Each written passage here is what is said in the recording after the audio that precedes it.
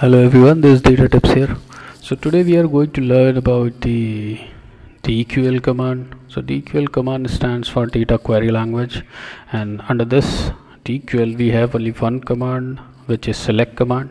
So we try to select anything from the table that is called a select or simple uh, dql command. Okay so let me try to execute or select some data from the table. So I'll write select command select a star from which table I want to query. So let's write details table okay and with semicolon and try to execute this. So here you can see all the records okay. And you can filter out the records as well by where name equal to pk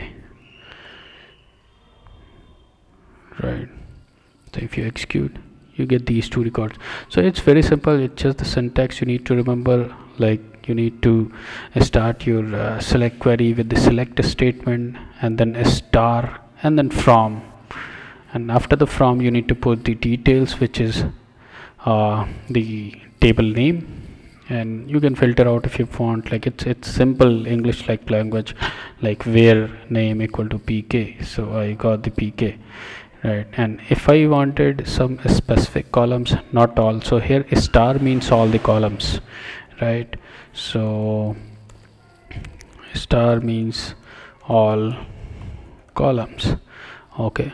So here if you see i am uh, writing anything just by double dash right? So anything if you want to comment on the SQL you just start that with double dash. And if you write anything here that will be treated as comment not as a code right? So this is the only line which will be executed since it is not under the comment. Okay so let's try to select the specific column. So I'll select name comma age right? So here also you can select uh, like specific columns and you can run. So here you can see only two columns are written in the result. So that was about it for the select statement. Thank you for watching